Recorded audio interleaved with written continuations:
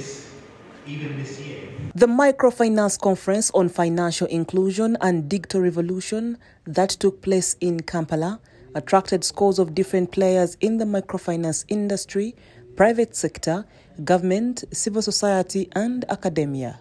During this meeting, critical matters on the future of microfinance and saving groups in the country were discussed. Uh, uh, of course, the microfinance sector uh, started more in a joking way. Uh, we did survive, uh, but I'm happy that uh, over the 25 years, uh, the sector has continued to grow. While officiating at the opening ceremony of this function, the Prime Minister Robinah Nabbanja challenged the public to be very cautious while going for loans from money lenders.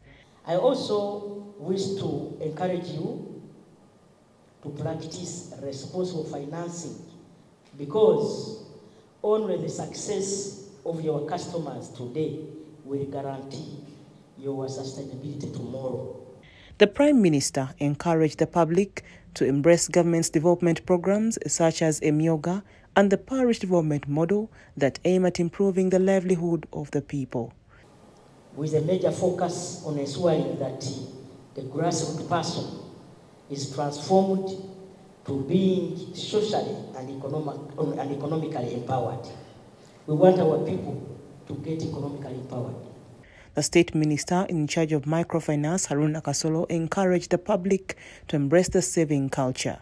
He gave assurance that the Microfinance Support Center will soon be giving out loans at a reduced interest rate of 8%.